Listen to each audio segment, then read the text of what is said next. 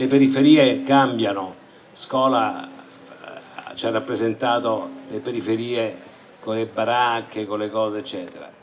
Eh, poi Pasolini non, non, ha mai fatto, non ha mai raccontato le periferie in maniera comica, ma in maniera molto drammatica, molto vera, ma con molta poesia.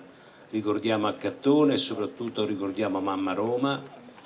E poi le periferie cambiano di colpo. Ecco che arriva quindi Calligari eh, con l'amore tossico e poi oggi arrivano i fratelli di Innocenzo che guardano e esplorano la periferia, eh, attraverso questi registri noi vediamo l'evolversi della, della zona periferica, come è diventata. Oggi è diventata indubbiamente più difficile, più cattiva se vogliamo, perché? Perché è sempre stata dimenticata dal, dal governo, dallo Stato, è sempre così, non c'è mai stata una vera grande attenzione.